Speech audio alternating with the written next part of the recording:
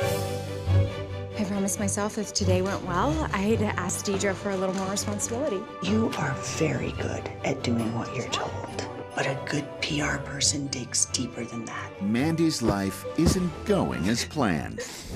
Prince Colin of Edgemere. Arrested for taking a bath in a public fountain. We get the sheriff to drop all the charges, issue an apology, and a few good photo ops. But she'll find out life is full of surprises. Deidre!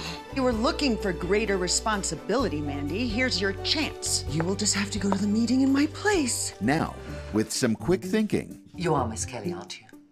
Yes, I am. May I present Miss Deirdre Kelly? It's a pleasure meeting you. and an open heart, Why did you say you were her? I couldn't stop myself.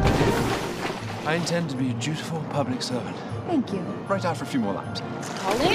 I know it's hard to believe, but I'm on your side. I've dealt with the press my entire life. This will blow over. It's the Royal Jubilee. You have become a liability. Your image has to be rehabilitated.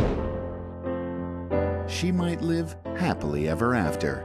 The world only knows you through tabloid stories and official appearances. I need reinforcements. Miss Kelly, Miss Kelly, help! It's one of the best days I've had in quite some time.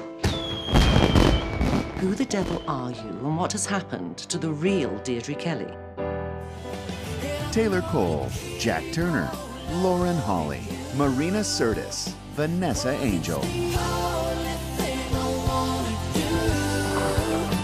Oh, Mandy, what have you been up to? And what did you wish for? A happy ending. My Summer Prince.